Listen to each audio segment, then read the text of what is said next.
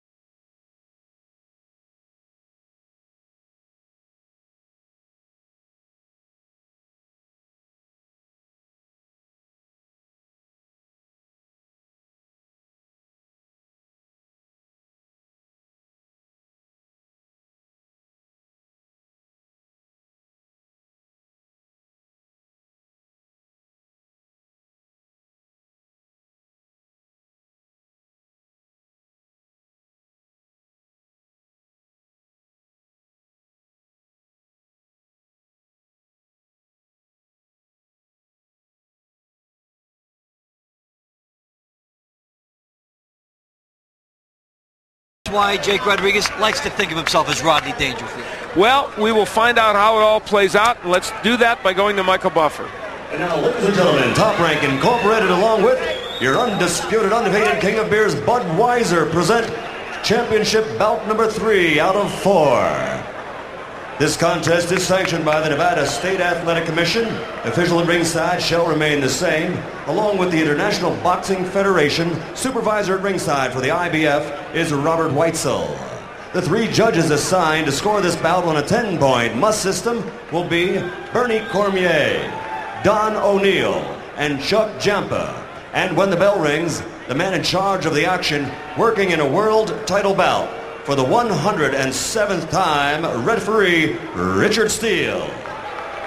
And now, ladies and gentlemen, from the MGM Grand Garden here at the MGM Grand of Las Vegas, Nevada, 12 rounds of boxing for the IBF Junior Welterweight Championship of the World. Introducing first, fighting out of the blue corner, wearing the black trunks and weighing in at 139 pounds. He comes to us from the land down under, Sydney, Australia. His record, a perfect 13 and 0. 10 KOs to his credit. Ladies and gentlemen, introducing the undefeated challenger, Kostya Tszyu.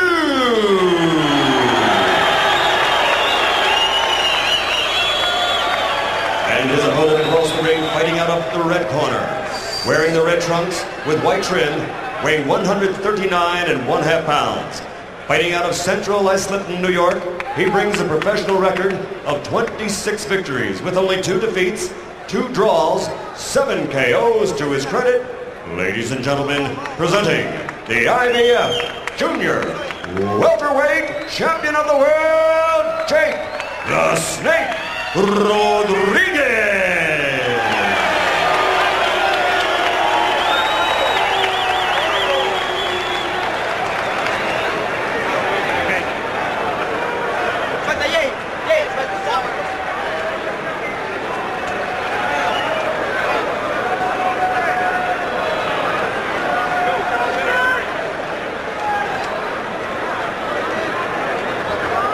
Yes, look, both fighters in the dressing room. Caution again.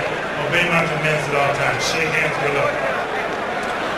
Jake Rodriguez not looking at Kostya Tszyu, looking down instead. And we've uh, we're heading into our third of four championship matches. That's the challenger, Kostya Tszyu, young man from Australia, originally from Russia, and uh, Jake Rodriguez from Puerto Rico, living in the United States.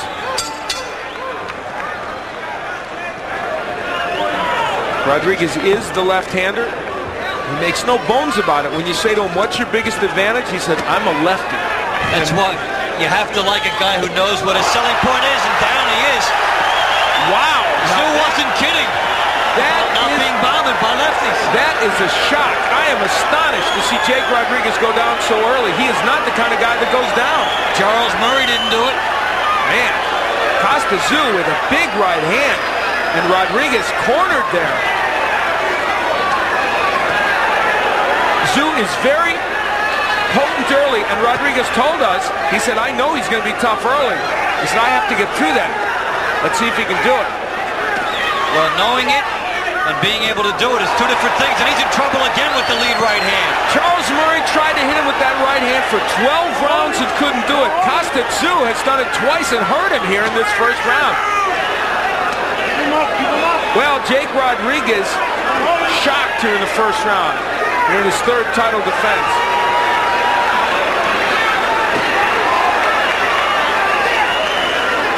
Kostya going for it early. He knows this is his best chance right now. And a lot of patience by Kostya Tszyu. So, Jake Rodriguez halfway through round one, just trying to make sure he gets through this round. In his third defense of the IBF title, and so far it's a rugged one. Boy, the right hand of Tszyu is getting in every time he throws it, Dave. I've never seen anyone land the right hand that often against Rodriguez. Jake Rodriguez should try to tie up right now just to get through this round and slow down the pace. Kostya Tszyu is cutting off the ring effectively, scoring with his big right hand. Jake Rodriguez is on unsteady ground.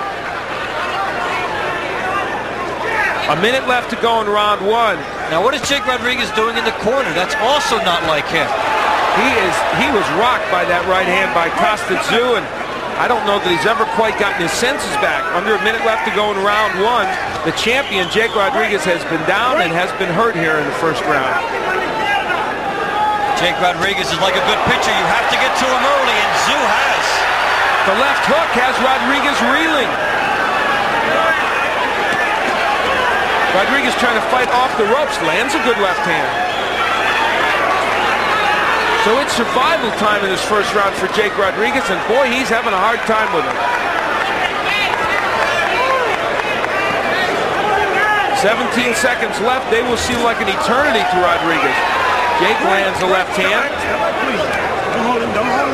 Kostya Tszyu, in his first major TV appearance here in the United States, has been all that he was advertised my first look at him live as it is um, yours, and I'll tell you what, he's impressive.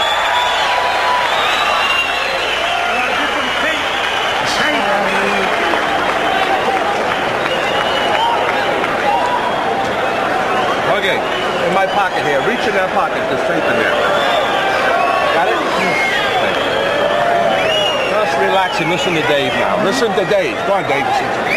Move your head and jab. If you don't do nothing in the next two rounds, you ain't dick. Yeah, he's doing it. So here it is right here.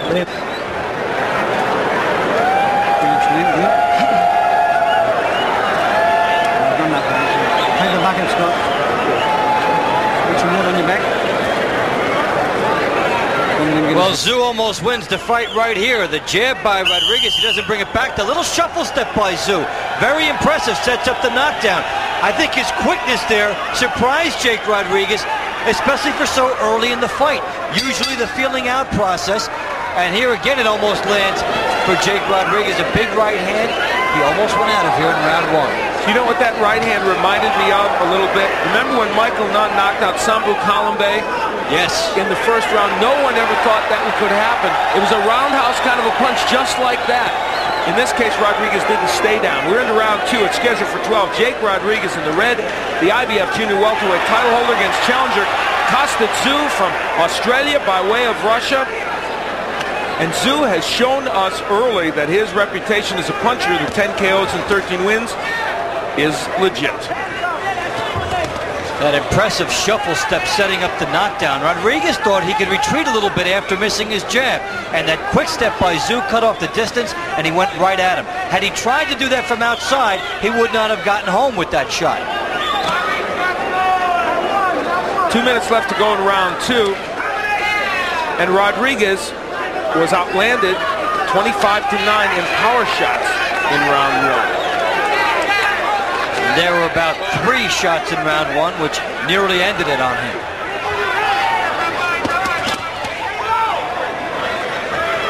Jake Rodriguez again putting himself into the corner. That's very unlike him. It's a sign of a fighter who's a bit unsteady. And Tszyu landed the right hand again. And if you've not seen Jake Rodriguez fight before, it is astonishing to see him getting hit with these many right hands. Tszyu is cutting off the ring effectively, and Jake Rodriguez is moving straight back after Tszyu attacks, and he's making it easy for Tszyu to go to that straight line and land the right hand here. There is uh, an abrasion underneath the eye of Kostya Tszyu.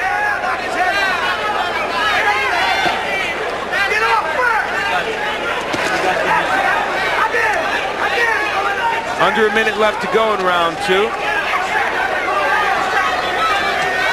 Jake Rodriguez has stabilized himself to some degree, but not able to do much offensively against Tszyu. We're not accustomed to seeing Jake Rodriguez push his punches out either. He's pouring with his left hand. That's supposed to be his power hand. There's the jab. Now they told him jab and move your head to Rodriguez. He's doing neither very effectively right now. Just getting nailed with right hands. There's another one.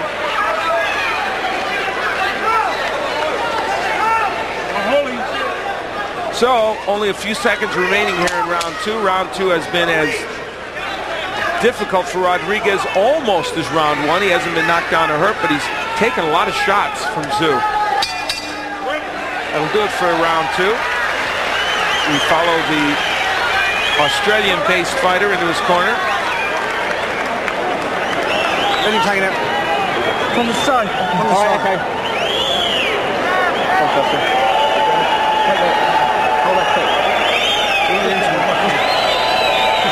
Yeah, I will, I will. Listen, use a lap. Pick the one up, please. Pick the one up, please.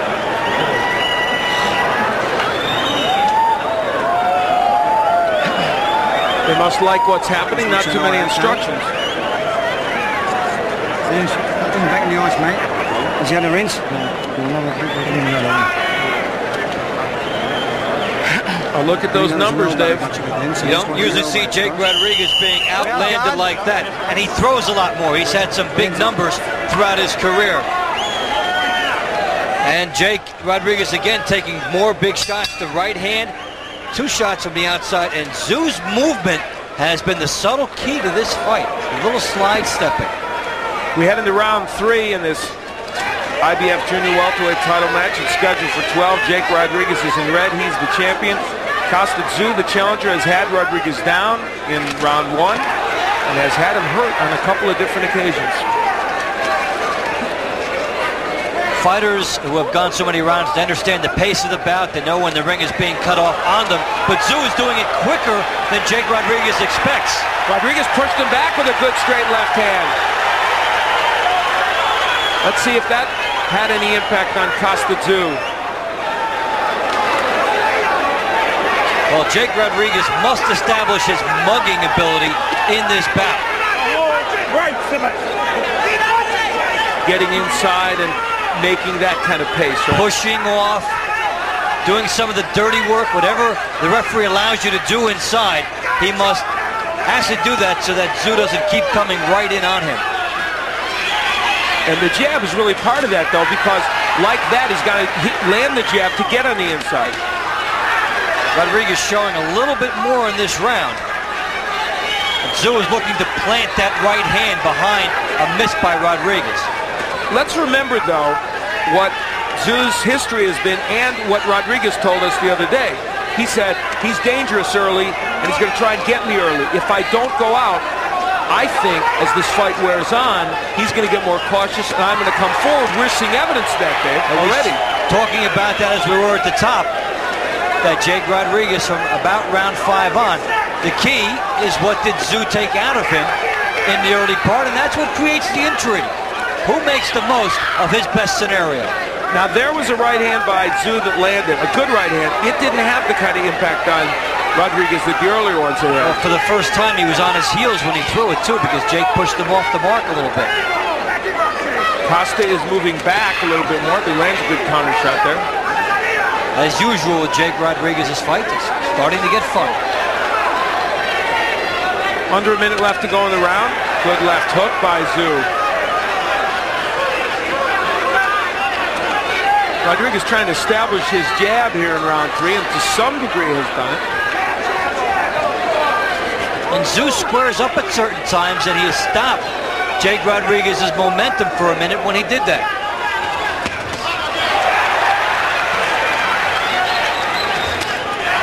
Well, it's still been difficult for Rodriguez to land his punches offensively. Tszyu has done a pretty good defensive job.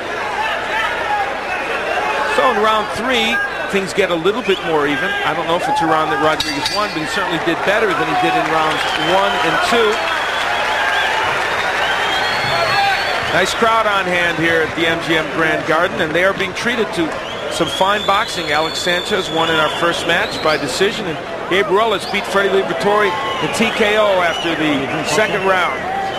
We've had knockdowns in the first round of every fight. It's true. What would be the uh, proposition bet on that, huh? How about for sweeping the card at least 100 to 1? So you haven't pulled on his arm back, right?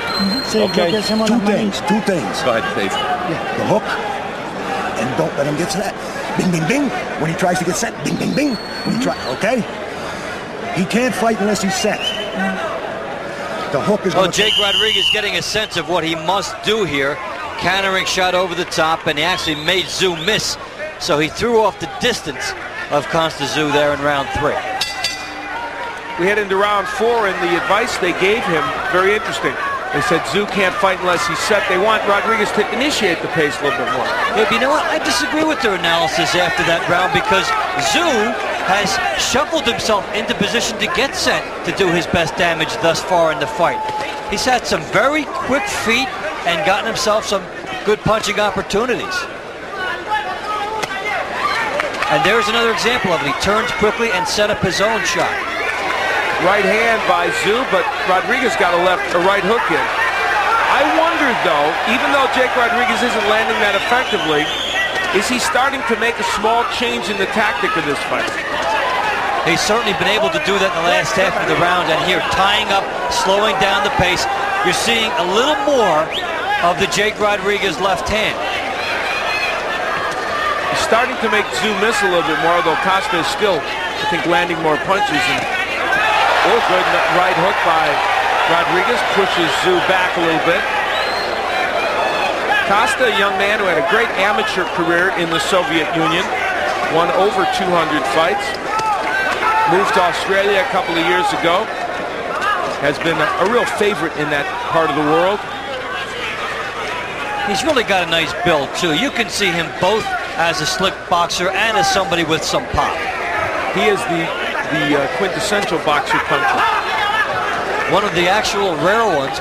So many of the fighters call themselves that, and they're not. That is true. Sometimes they're neither. Over a minute left to go here in round four. Al Bernstein, Dave Bontempo, happy you joined us on the eve of the Super Bowl. Got some super fights going. And we're seeing the grittiness that we expect to take place in this bout. Jake Rodriguez has recovered and now makes maybe his biggest statement of the fight there with the right hook. He'll try to go back to it. Rodriguez has a pretty good right hook when he throws it in a compact way. He is not getting hit as often with those right hands now. You have to say that for Rodriguez. Jake Rodriguez has to force the pace of this fight throughout the middle rounds to try to set up something big at the end. He cannot let Tszyu coast during the middle rounds here. The straight left gets in to Kostya Tszyu, and there's the right by Tszyu. Richard Steele getting some help from Rodriguez, who wants him to warn or take a point away from Tszyu for holding behind the head.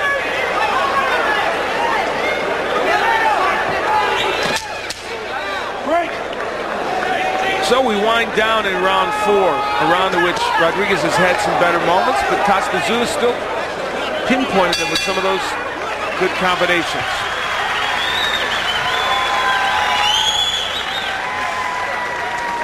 Fernando is in the locker room with Billy Schwer, the fighter from England. Let's go to Fernando right now. Thank you, Al. Billy, do you think the uh, Ruelas at height is an advantage or a disadvantage to you? Height, um, it's not too much taller than me. It's not a lot in it, really. So it's going to be um, a good fight. He's not all that much taller than me. He's only about an inch, inch and a half taller than me, so I don't think it's going to be a disadvantage, not at all. Have you fought anybody that, uh, in, uh, with his uh, physique, you know, he's tall, lanky? Yeah, um, a couple of fights ago I fought a Canadian, Howard Grant. He was unbeaten. He was very tall, very much similar to Ruelas. Thank you very much. Good luck. Back to you, Al. Thank you, Fernando. Thank you. Thank you, boy. We peek in on uh, Kostya Tszyu, and here's Jake Rodriguez with some action. And body by Jake and left hook by Jake. it's his uh, shot in there, and maybe he's getting his range in this fight. We'll see. We head into round five. We swear one of the numerous fighters who have not fought in the United States on this card. Right. The totals right. through round four. Interestingly, it's not that one-sided. 101 punches landed by Tszyu of 282 and 74 landed of 245 for Jake Rodriguez. But the knockdown, of course, giving Tszyu a bigger edge. Jake Rodriguez is trying to turn the complexion of the fight. But Tszyu is more durable than his other opponents, and Tszyu has the knowledge of that fast start, which he has been able to play off. Jake Rodriguez looking to Richard Steele for some help. Good right, hurt Rodriguez. Couple of good rights by Tszyu. Looked like it rocked Jake Rodriguez. Gave him a brief taste of spaghetti legs there. Another right. Jake Rodriguez showing us a lot of grittiness here. He's, backing up. I think He's taking some big right hand leads too. Kostya Tszyu landing more right hands against Jake Rodriguez than I think anyone has done in the last five fights I've seen him in. Jake is hurt. And, and Jake cannot be standing there like that. He's taking one big shot trying to load up, but Jake Rodriguez is not a puncher. He is definitely hurt. Kostya Tszyu has him in trouble. What is keeping him up right now, I don't know. He has been rocked with those right hands. And there you see Tszyu again turning into his punches. And Jake goes down. That was a knockdown. I don't know why he didn't call that a knockdown. Jake Oh. went down on his own. He went down so he could get the rest. Bad call by Richard Steele. Yet another bad call. That's a horrible call. Or a horrible non-call in this case. Jake went down because he was hurt. Boy, Richard Steele blew that one. Good hook by Kostya Tszyu.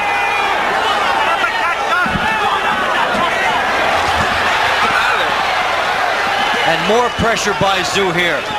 So Jake Rodriguez suffering through a terrible round five. And he catches quite a break. It's not called a knockdown. This should be a 10-8 round. Yeah, huge break. So he got the benefit of going down and still got the rest, but didn't get the knockdown called against him. Either way you look at it, though, it's been a big round for Kostya Tszyu. Half a minute left to go in round five. There's another right by Tszyu. We were told this young man was a puncher, and he's showing us that against Jake Rodriguez. Not a guy you can hurt easily. Think of all the fighters who could not do this to Jake Rodriguez, starting with Charles Murray. Charles Murray among the most elite of this group that hasn't. Ray Oliveira couldn't do it against him. Sergey Artemiev. That'll do it for the round, and Jake Rodriguez ambles back after another tough one. You all right? Yeah. Okay. We'll have to listen to Dave then. Let's go. Oh, no, that's it, man. Wait, wait, stop it, stop it, stop it.